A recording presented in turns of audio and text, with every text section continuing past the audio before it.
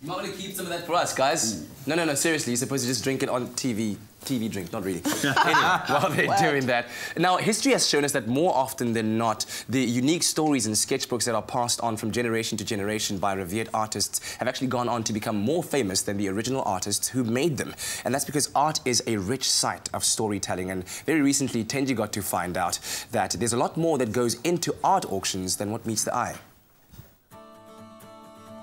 I recently heard a crazy story about a piece of art that sold for 10 million US dollars, and then it turned out to be a fake. The world of art is full of scandal and interesting tales behind each piece, and while they sell for their beauty, it's the journey behind each work that I'm interested in learning more about.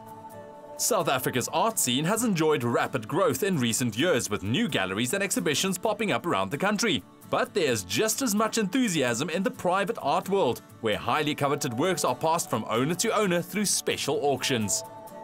So, Ruarc, a lot of people in South Africa really consume art by going to art galleries. Some people even go to art shops to get their pieces.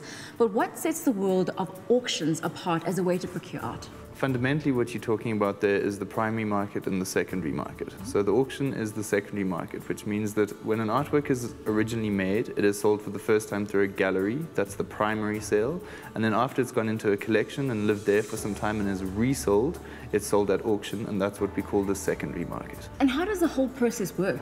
If somebody has an artwork, they contact us, they request a valuation. You can either send emails with images, or we can come out and look at your works. Based on precedent, we give it a value, comparing a similar work by that artist. That is what we use as the barometer for the value of what we think a work is likely to achieve if it's re-offered on the open market. If the client is happy with that figure, then we include it in a future auction that we're doing. In South Africa, art is becoming increasingly popular as a way to invest because it's a movable asset. And when a piece moves from one owner to another, it brings with it a shroud of mystery and family history that adds to the legend. I think one of the most exciting things that happened in this company was our sale last year when we achieved an Alexis Preller painting, which had lived in this Pretoria home for its entire life since it was bought directly from the artist. The owner knew the artist, he had a good rapport with him, and he had these amazing stories to tell about talking to the artist and the process of acquiring the work from the artist. And then it was just such an achievement for us when we put it into the public domain. It was really well received by the public because they could see what quality and how unique the work was. And ultimately, when it came to sell, it made over 7 million rand. Wow, that is pretty wild. Can you show me around and tell me more stories? Yes, with pleasure. Although many of the pieces sold at the auction have history, there are fairly new works by well-known living artists that can also exchange hands by sale through auction.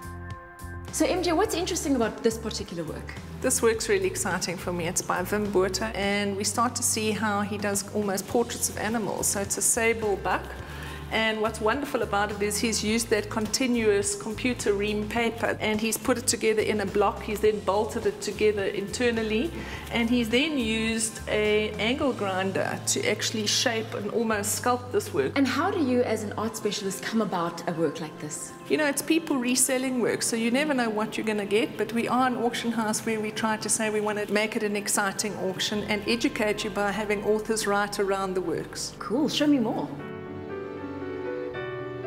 a woman bought a gift for a brother and a sister. She bought them each a penknife.